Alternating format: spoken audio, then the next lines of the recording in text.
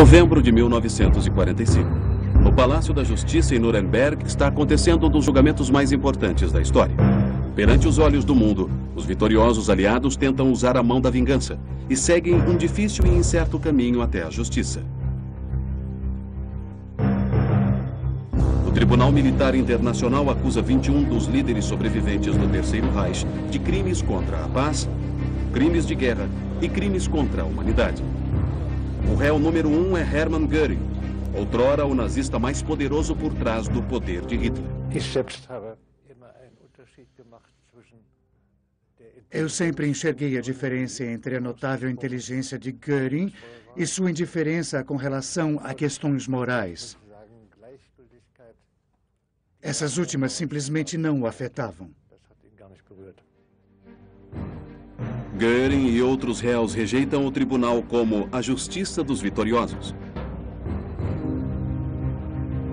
O advogado de acusação americano Robert Jackson está determinado a condená-los por seus crimes.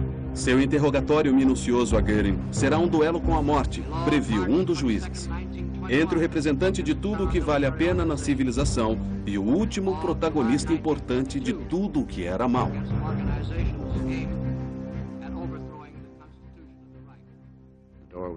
A porta se abriu e Gary entrou por ela. Ele começou a fazer um discurso em vez de responder às perguntas.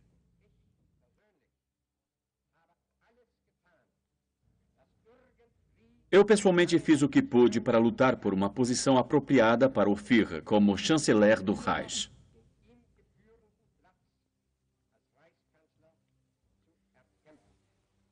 Depois de chegar ao poder, o senhor considerou necessário, para se manter no poder, suprimir todos os partidos de oposição.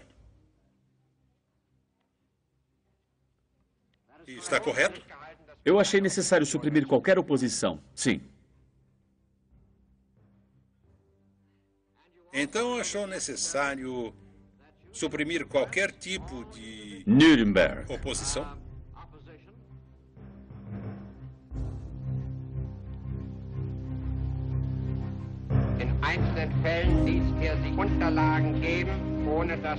O julgamento de Hermann Göring.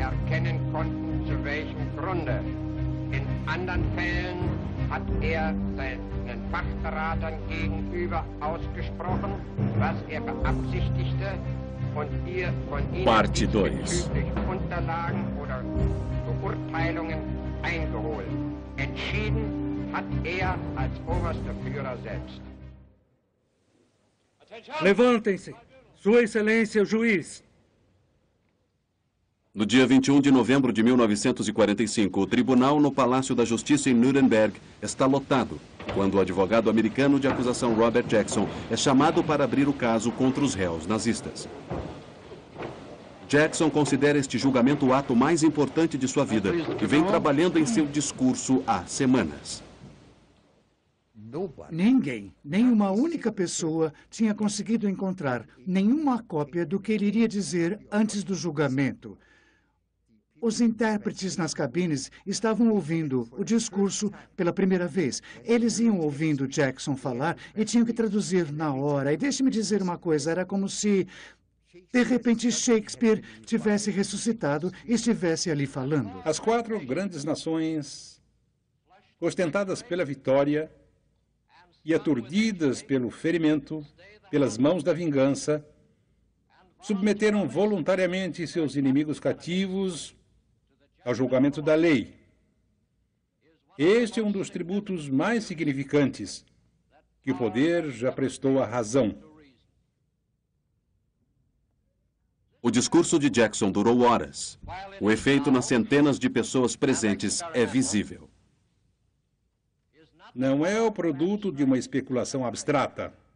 Na eloquência daquele discurso, o seu poder foi imediato e estrondoso. Os acusados estavam uh, em choque em seus lugares e pareciam muito deprimidos quando voltavam aos locais de almoço e para suas celas no final do dia. Porque aquela era realmente a primeira experiência deles com Jackson no tribunal e, de certa maneira, eles entenderam contra o que estavam lutando. Senti um arrepio na espinha, escreveu um repórter americano, quando Jackson usou o poder do discurso para construir sua obra-prima contra a barbárie nazista. Ouvimos hoje um dos grandes julgamentos da história.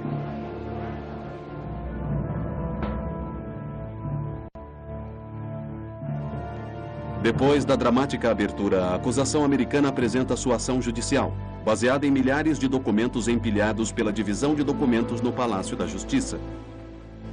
Fora os volumes de provas incriminadoras, os advogados de acusação haviam colhido os piores exemplos para provar a conspiração nazista e os crimes cometidos pelos réus. Embora as provas fossem irrefutáveis, o juiz Jackson logo percebe que a leitura completa dos documentos atrasará consideravelmente o julgamento. Jackson está sentado ali, em posse do requerimento do tribunal sobre como os documentos deveriam ser lidos antes que pudessem ser aceitos como provas. A demora causada pelo sistema de tradução é um tipo de problema que ele teve que enfrentar. Ele não foi o primeiro a propor. Ao contrário, logo o convencem que outros tipos de provas, principalmente as provas em filme, deverão ser mostradas mais cedo ou mais tarde como uma maneira de dramatizar e acelerar os procedimentos um pouco. O plano nazista. No tribunal, eles assistem a um filme longo de quatro horas de duração chamado Plano Nazista. Ele mostra os réus no ápice de seu poder, promovendo guerras agressivas.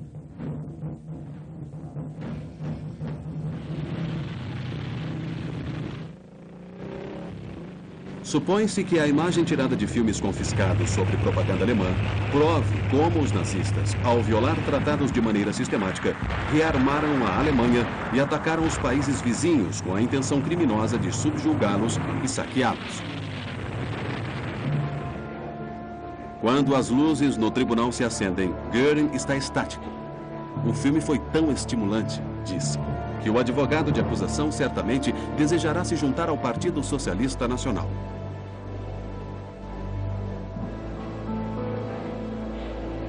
De volta à sua cela, Göring é ainda mais franco.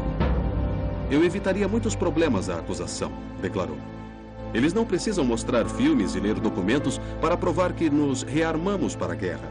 É claro que nos armamos. Horas, eu rearmei a Alemanha até nos triunfarmos. Só sinto que não tenhamos nos armado ainda mais. É claro que eu considerei seus tratados como nada além de papel higiênico. É claro que queríamos tornar a Alemanha grande. Isso poderia ter sido feito pacificamente, sem guerras. Mas se não, qual é o problema? Com as imagens de seus dias de glória no poder em mente, Goering parece estar realmente gostando dos procedimentos.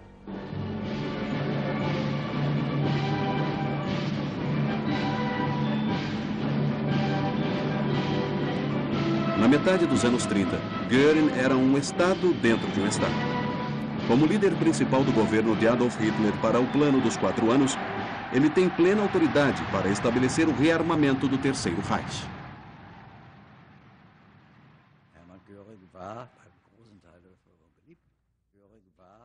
Hermann Göring era uma figura muito popular. Sua popularidade diferia da de Hitler, que era praticamente idolatrado.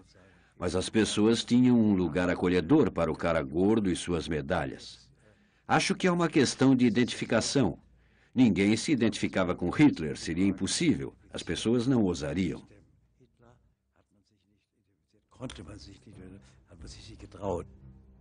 Ele é o melhor homem que eu tenho. Foi o elogio que Hitler fez a seu fiel companheiro. Um homem com determinação, que sabe o que tem que ser feito e que cuida de tudo.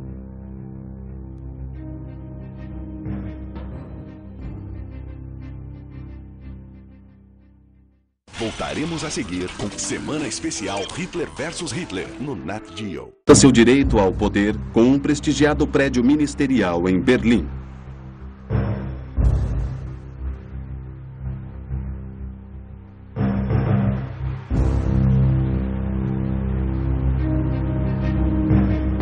Daqui, ele administra o grande armamento da Alemanha sem nenhuma preocupação quanto à habilidade econômica do seu país de sustentar aquilo.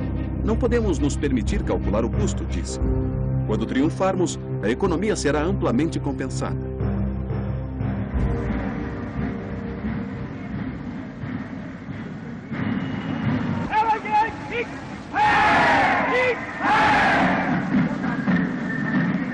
A máquina de guerra alemã precisava estar pronta depressa. No dia 5 de novembro de 1937, durante uma conferência secreta com seus líderes militares, Hitler revela que o uso da força logo seria imperativo.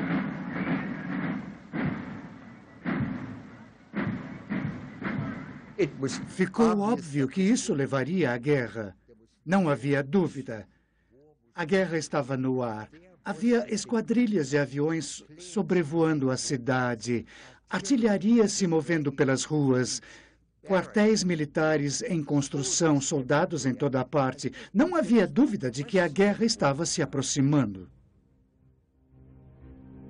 A expansão do Terceiro Reich também deverá abrir novas fontes de capital, já que ele está se tornando rapidamente uma enorme estirpe do armamento do país.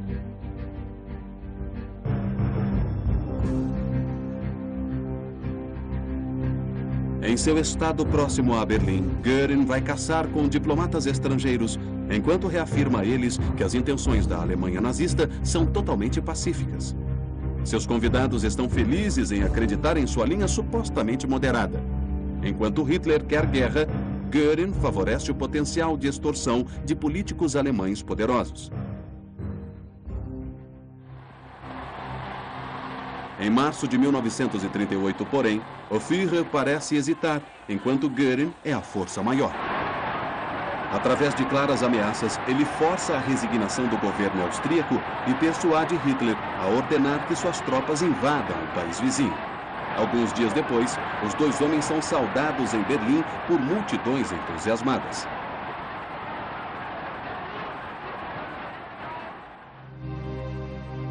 Embora suas influências na política estrangeira de Hitler logo diminuam, Göring mantém sua proeminente posição na sociedade socialista nacional. Hitler se torna até o padrinho da filha de Göring, Eda.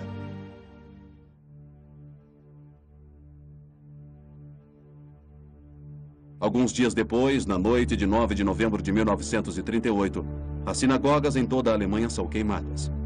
Mais de 8 mil negócios judeus são destruídos e pelo menos 91 judeus são mortos por multidões enfurecidas. Havia carros de bombeiros por toda parte e uma sinagoga pegando fogo. Vi que cada uma das vitrinas das lojas de judeus tinham sido quebradas e as pessoas estavam saqueando.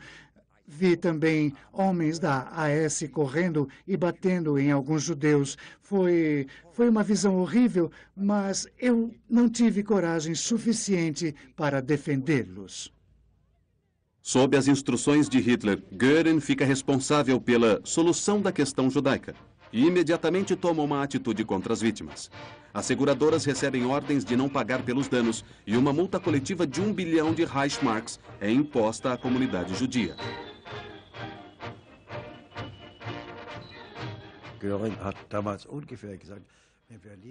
Göring disse mais ou menos isso. Gostaria que vocês matassem alguns outros judeus sem causar muitos danos materiais. Em todos esses anos, Göring foi um dos principais instigadores da perseguição a judeus. Foi ele também quem disse a famosa frase: Eu determino quem é judeu. Quando o exército alemão invadiu a Polônia no dia 1 de setembro de 1939, Göring se apresenta ao lado de seu Führer, Hitler recompensa sua lealdade, confirmando publicamente arranjos para uma sucessão secreta. Se algo me acontecer durante a batalha, meu primeiro sucessor será meu amigo e membro do partido Göring. A força alemã não estava preparada para o combate. Porém, na guerra contra a Polônia, ela se provou muito superior às forças do inimigo. Göring anuncia pomposamente futuras vitórias. Nossa Força Aérea mostrou promessas na Polônia e ela manterá essas promessas na Inglaterra e França. O inimigo será alvo de nossa mira, será batido e destruído ali também.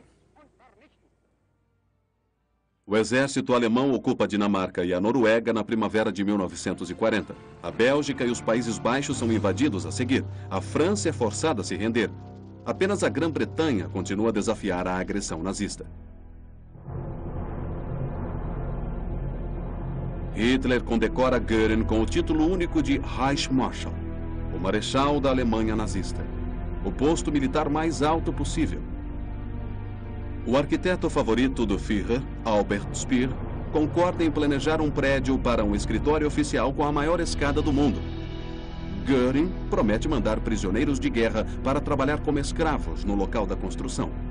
Embora ele não seja a favor dos planos de Hitler de invadir a União Soviética, ele espera recursos valiosos da economia de guerra dos territórios ocupados.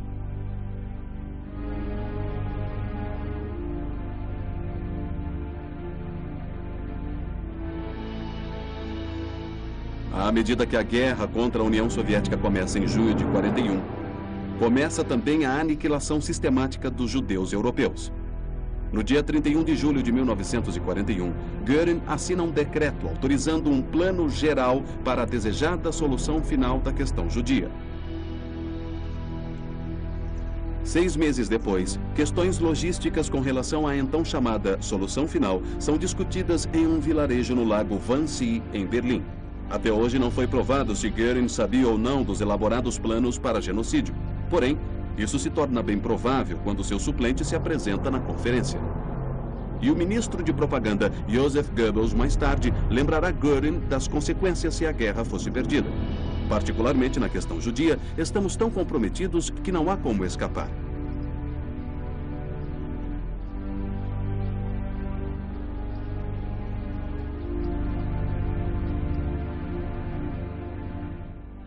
Toda a verdade sobre o Holocausto é trazida à tona durante o tribunal de Nuremberg. Hitler e Goebbels fugiram da responsabilidade cometendo suicídio. A equipe de Jackson agora apresenta documentos para provar a cumplicidade dos líderes nazistas sobreviventes que estão sendo acusados de crimes contra a humanidade. Campos de concentração nazistas. No dia 29 de novembro de 1945, mais provas em filmes são apresentadas no tribunal, documentando as atrocidades nazistas nos campos de concentração.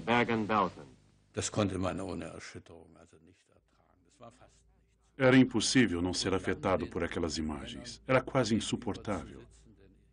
Sentar do lado oposto àqueles homens cujos rostos estavam iluminados de baixo para cima enquanto o filme estava sendo mostrado. Houve várias reações por parte dos réus. Alguns pareciam distantes, como Hermann Göring. Acho que ele até tirou o fone de ouvido para evitar ouvir a tradução. Outros pareciam deprimidos. Em alguns casos, eu tive a impressão de que tinham, de certa forma, sido afetados pelo que viram.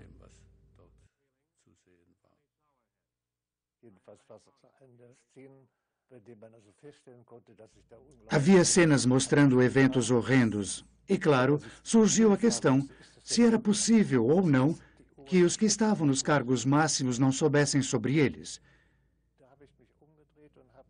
Eu me virei e perguntei ao Göring: ninguém sabia realmente sobre isso?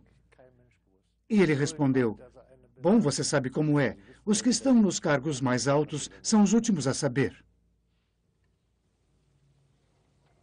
Testemunhas agora descrevem detalhes do genocídio. Seguindo as ordens de Göring para a solução final, o oficial do SS Dieter Wieslin ajuda a organizar a deportação dos judeus para os campos de extermínio.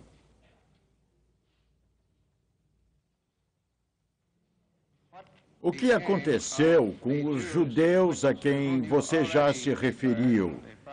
Os aproximadamente 450 mil judeus. Todos eles foram levados a Auschwitz e se tornaram parte da solução final. Quer dizer, foram mortos?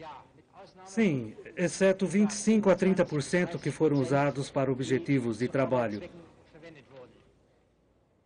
Göring está furioso ao ouvir seus compatriotas testemunharem contra ele. É revoltante ver como os alemães vendem alma para o inimigo. Ele esbraveja.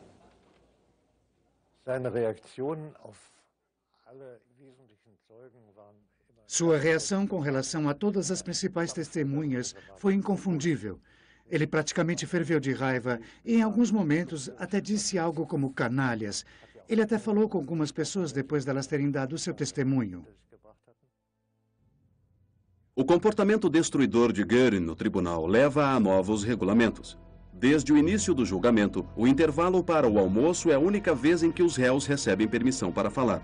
Göring aproveitara a oportunidade para impor seu desejo de uma frente unida contra os outros. Finalmente, ele é separado. Göring perde seu público. Ele está frustrado e irado.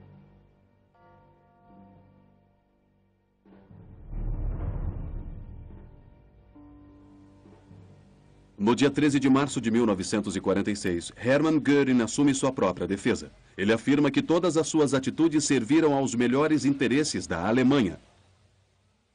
Durante cinco dias, ele se apodera do tribunal. Eu,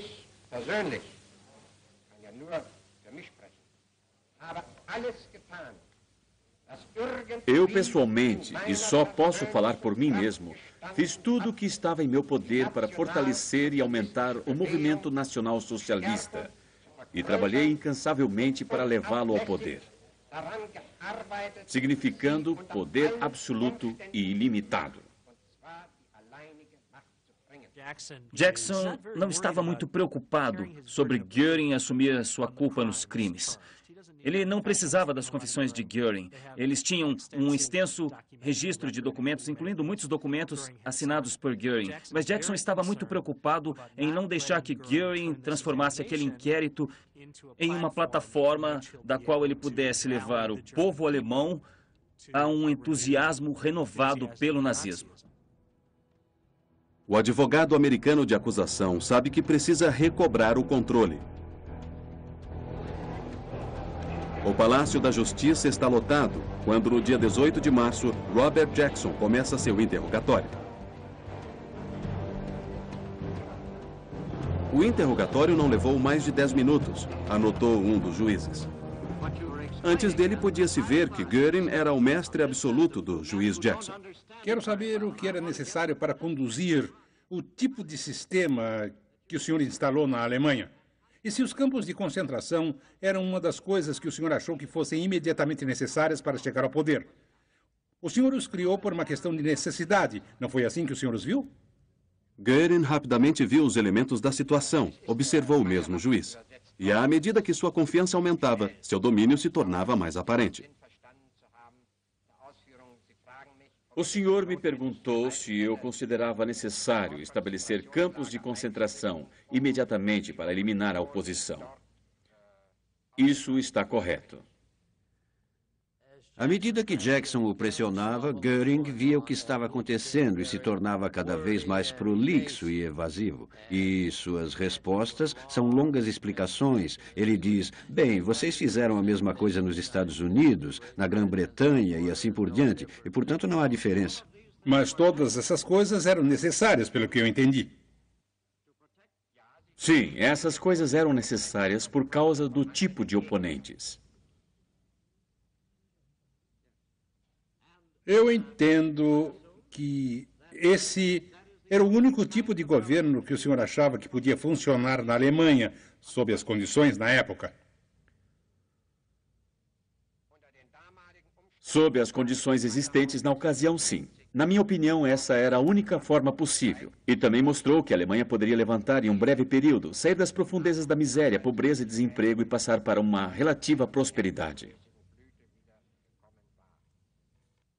A imprensa, como o próprio Jackson, tinha uma certa opinião sobre o evento a que estavam assistindo. Achavam que fosse outro nocaute, um golpe, um colapso, uma confissão, algo de ordem dramática. Em vez disso, o que eles viram foi um grande advogado conduzindo um excelente, poderoso e brilhante testemunho e um inquérito combativo sempre que eles estavam cansados de conversar sobre os grandes tópicos das questões mais importantes. Se o senhor se limitar a responder minhas perguntas, poderemos economizar um tempo considerável.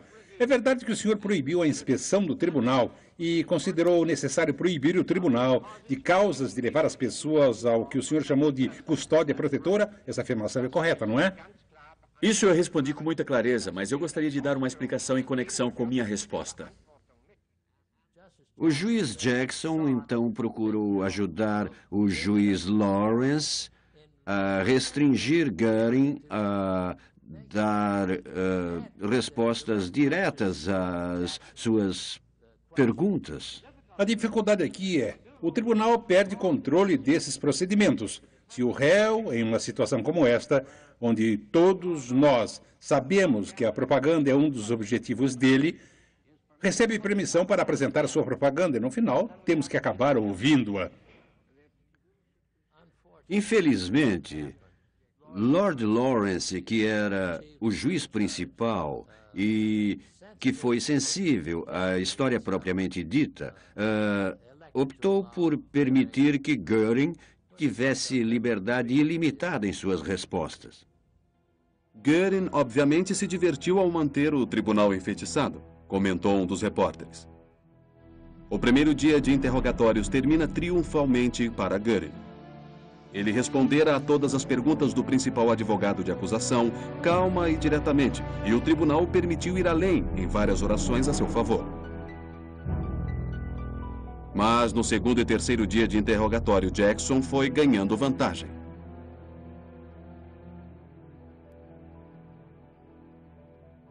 Da waren so seine Gehilfen vorgefahren mit Stapeln von Dokumenten. Os assessores de Jackson apresentaram pilhas de documentos, quase todos assinados por Goering. E o ainda arrogante líder nazista foi começando a parecer visivelmente diminuído à medida que todas as suas objeções iam caindo por terra. Voltaremos a seguir com Semana Especial Hitler versus Hitler no Nat Geo.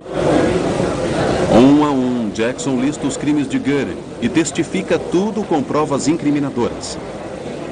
A batalha verbal dá uma virada. Quando enquadramos Goering na questão dos crimes específicos que ele cometera, como a perseguição aos judeus, bem, ele desmoronou. Desmoronou. Ele acabou como testemunha, e vou lhe dizer por quê. Porque o deixamos tão arrasado com relação à questão dos judeus que ele não teve mais nada a dizer. Você, Hermann Göring, publicou um decreto impondo uma multa de um bilhão de marcos para todos os judeus?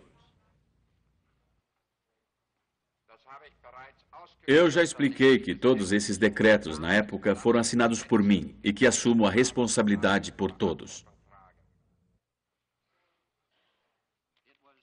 Foi o senhor, não foi, que assinou um decreto para fazer planos para a solução completa da questão judia. Aquele documento foi assinado pelo senhor, não foi? Está correto.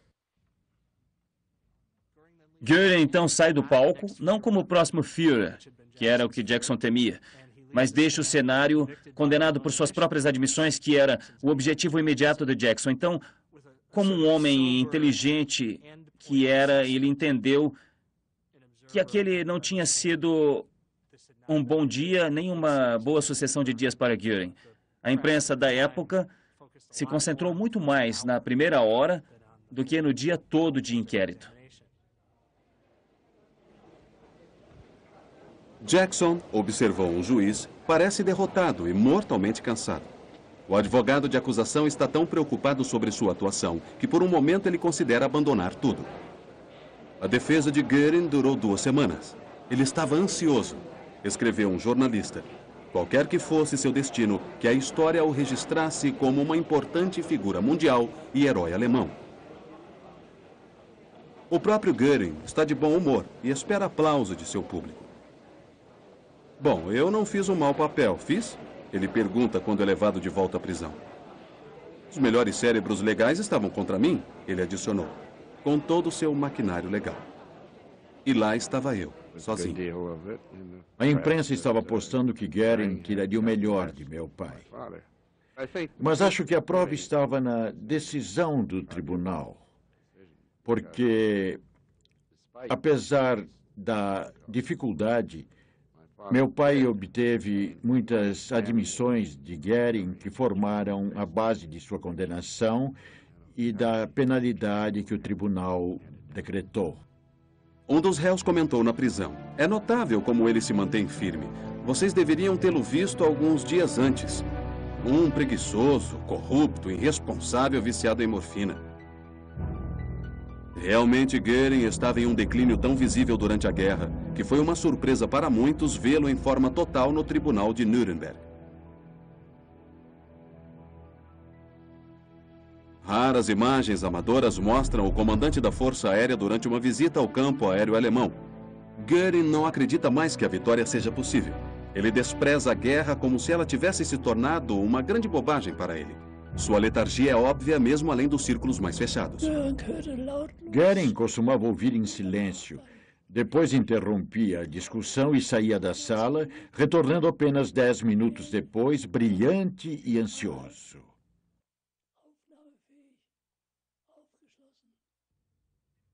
Era um milagre. Tínhamos certeza de que ele estava usando drogas. É dada uma recepção em homenagem ao 50 aniversário de Göring em janeiro de 1943. Nessa altura, centenas de milhares de soldados alemães são cercados por tropas soviéticas em Stalingrado. Mesmo assim, Göring garante a Hitler que as tropas isoladas podem ser supridas pelo ar. Mais uma vez, ele consegue impressionar o Führer com promessas vazias.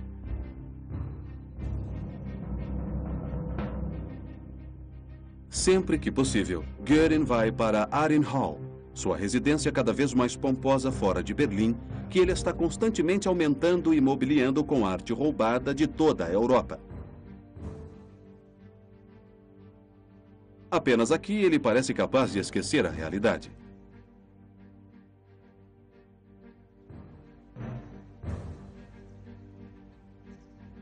Um enorme prédio de concreto abriga o Centro de Comando para a Defesa Aérea de Berlim.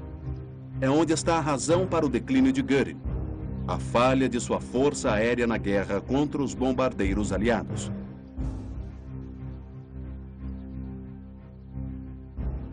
Göring tenta aplacar a ira de seu Führer com promessas cada vez mais inatingíveis e pretensiosas, que ele naturalmente não pode manter.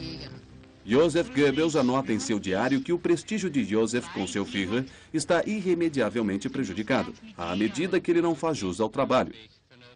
Göring lança ataques precisos aos que ousam criticá-lo. Se um ataque aéreo fosse mal interpretado, Göring esquecia que havia aprovado pessoalmente os planos de defesa. Göring.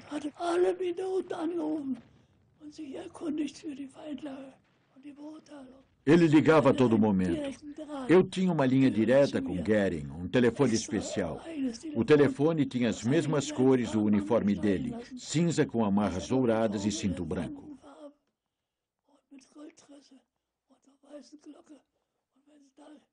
Quando ele tocava, todos sabiam. Todos sabiam que eu estava falando com ele ou vice-versa. Eu me lembro de Guerin dizer num dia em particular que até mesmo a moça que lavava roupa para ele sabia que ele não precisava de nenhum de seus oficiais, mas que ele havia sido idiota o suficiente para concentrar todas as nossas tropas ao redor de Berlim. Quando Guerin aparecia em público, as pessoas o xingavam. Cada vez mais piadas eram feitas sobre ele, mas ele manteve o senso de humor. Apesar de tudo, Goering ainda era popular. Embora fosse o comandante da Força Aérea Alemã, ele agora evitava Hitler. Der Göring war im Grunde genommen auch schon fast eine Randfigur bei diesen Lagerbesprechungen. Basicamente, ele era uma figura menor nas discussões. Göring esporadicamente fazia aparições bombásticas. Ele passara a ser uma visão grotesca quando aparecia de uniforme branco no inverno usando aquelas botas enormes, cuja parte de cima ia até suas coxas enormemente gordas. Era realmente um espetáculo ridículo.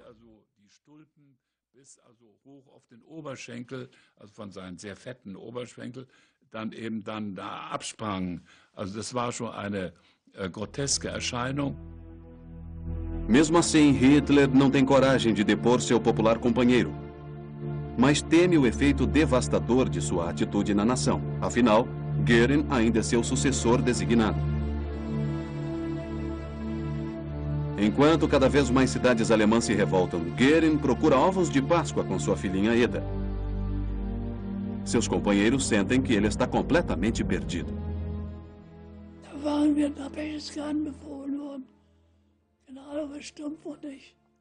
O coronel Stampf e eu tínhamos sido mandados para Berchtesgaden. Stampf estava reportando na situação da defesa aérea. Eu quase senti pena do Goering. Ele tinha um livro de exercícios e estava tomando notas. Ele parecia um menino aprendendo lições na escola. Senti muita pena dele. Ele, obviamente, estava tentando acompanhar a realidade, mas já era tarde demais. Evidentemente, Goering tem esperanças de poder ser capaz de negociar um acordo de paz separado com os aliados do Ocidente.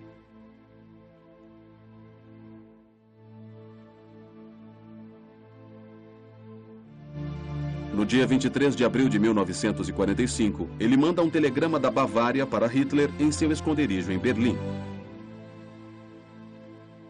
Er hat das dann so gefasst dem Ele escreveu no telegrama que Hitler não era capaz de operar como o cabeça do Reich. Então ele sugeriu que o poder executivo fosse transferido para ele, até às 10 da noite daquela noite a menos que Hitler desse ordens para o contrário.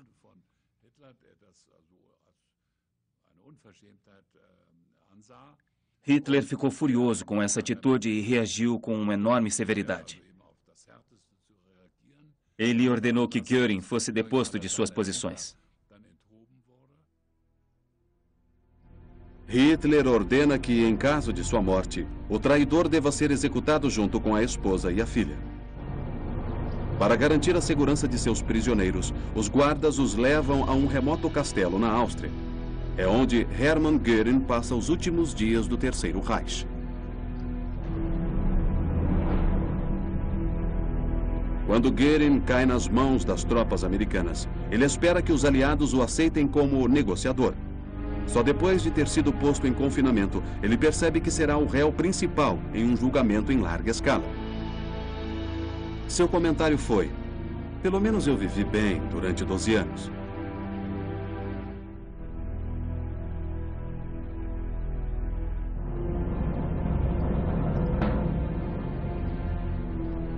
Depois que o duelo entre Göring e o juiz Jackson termina, outros líderes nazistas testemunham em sua própria defesa no tribunal de Nuremberg. A maioria afirma ter simplesmente obedecido ordens. Poucos admitem a responsabilidade nos crimes. No dia 25 de julho de 1946, Robert Jackson apresenta seu, há muito tempo previsto, discurso de encerramento. Senhor presidente e membros desse tribunal, é impossível, em suma, fazer mais do que resumir com golpes duros os órgãos vitais do registro absurdo e melancólico desse julgamento, o qual viverá como um texto histórico da vergonha e depravação do século XX. É contra tal histórico que estes réus agora pedem a este tribunal para dizer que não são culpados de planejar, executar, conspirar ou cometer essa longa lista de crimes e erros. Eles se apresentam perante os registros desse tribunal como o machado de sangue Gloucester se apresentou diante do corpo de seu rei assassinado. Ele implorou a viúva, assim como eles imploram a vocês: diga que não fui o culpado. Ao que a rainha respondeu: então diga que eles não foram assassinados, mas que estão mortos. Se os senhores podem dizer que estes homens não são culpados, então seria verdade dizer que não houve guerra, que não houve assassinatos, que não houve crimes. No dia 2 de setembro, depois de 216 dias de julgamento, o Tribunal Internacional faz um recesso para refletir sobre o destino dos acusados.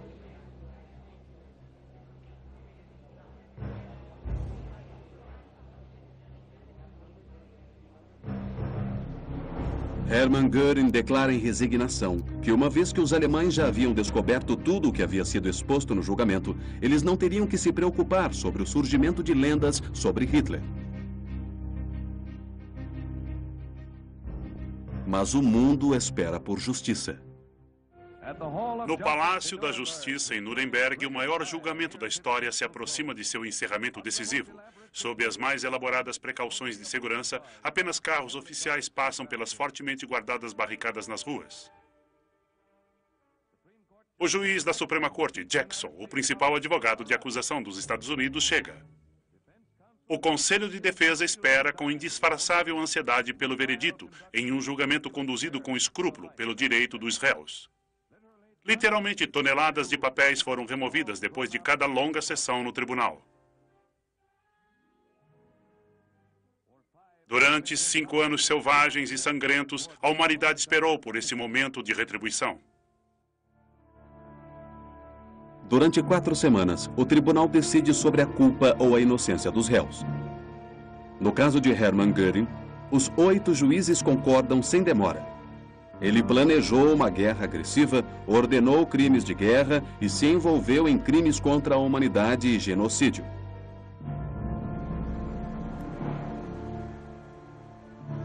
O dia 1 de outubro de 1946 é declarado Dia do Julgamento. Pela última vez, os réus caminham da prisão ao tribunal.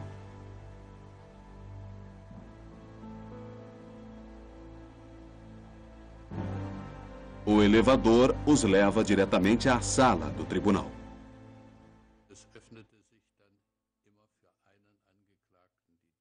A porta se abriu para um réu de cada vez passar. Göring pegou uma posição na frente. Ele entrou primeiro. O tribunal está lotado, como no primeiro dia. O público espera ansioso pelo pronunciamento do veredito. Todos os olhos estão voltados para Hermann Göring. Göring não foi capaz de responder ao Lord Lawrence.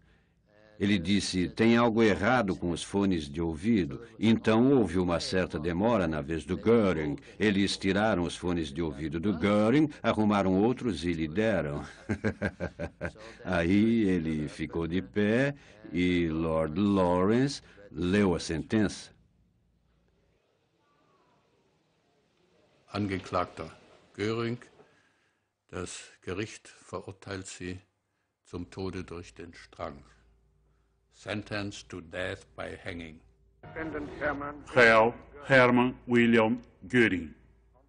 Pelos crimes pelos quais foi o senhor acusado, o Tribunal Militar Internacional o sentencia à morte na forca.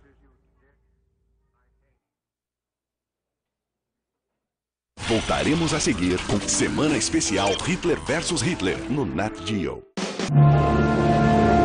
Göring e outros dez são condenados à morte. Sete são condenados à prisão e três absolvidos. Da hatte man eben doch den Eindruck, dass man an einem Verfahren teilnimmt. O público ficou com a impressão de ter testemunhado procedimentos onde o peso total de uma guerra perdida e o peso dos crimes cometidos estava concentrado em apenas algumas pessoas.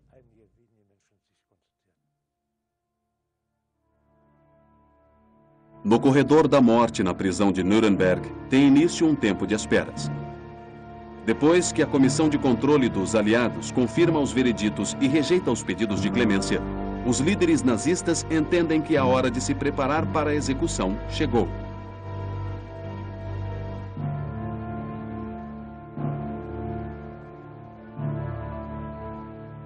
Hermann Göring teria aceito uma execução por um esquadrão de artilharia, julgando ser a única altura de sua posição. Eles não irão me enforcar, jurou. A esposa e a filha de Göring recebem permissão para uma última visita. Amy Göring acredita que eles nunca irão enforcar seu marido, mas exilá-lo em uma ilha, como foi feito com Napoleão.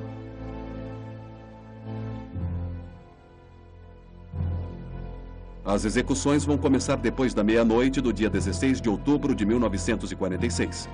Três cadafalsos são erguidos. Os prisioneiros comem sua última refeição. Como todas as outras noites, as celas dos prisioneiros no corredor da morte são iluminadas por holofotes e constantemente monitoradas.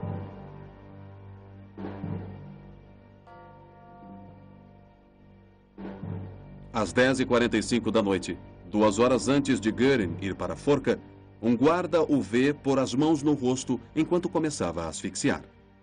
Göring conseguira obter uma cápsula de cianeto de potássio.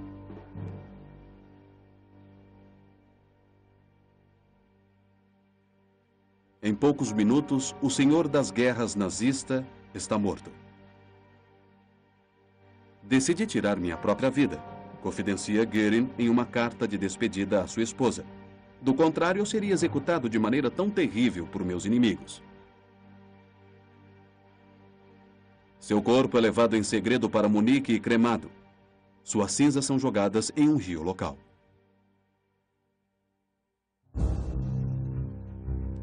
Apesar das críticas da justiça dos vitoriosos, o julgamento de Nuremberg criou uma nova forma de justiça, que desde então vem sendo confirmada pelas Nações Unidas e pelo Tribunal Europeu de Direitos Humanos.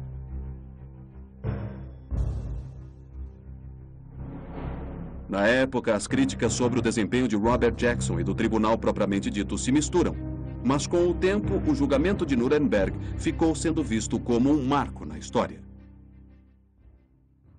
Acho que, provavelmente, a maior contribuição do Tribunal Militar Internacional foi declarar de uma vez por todas a guerra como um crime internacional. É a guerra, a guerra agressiva, o que está por trás desses outros crimes que provamos contra os réus de Nuremberg.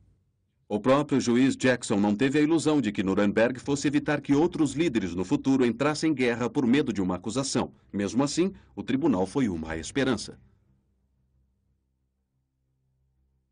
Quando falamos em atrocidades em massa, violência em massa, sempre haverá uma pequena fração dos que poderão ser julgados responsáveis. E mesmo assim, é melhor ir em frente com isso do que sem nada. E realmente, Acredito que os julgamentos de Nuremberg representem não apenas a rejeição de vingança e execução sumária, mas também pela atitude de não se fazer nada. Nuremberg estabeleceu um importante precedente. Se a mão da vingança se mantiver firme, a justiça pode prevalecer sobre o mal. Versão brasileira Centauro.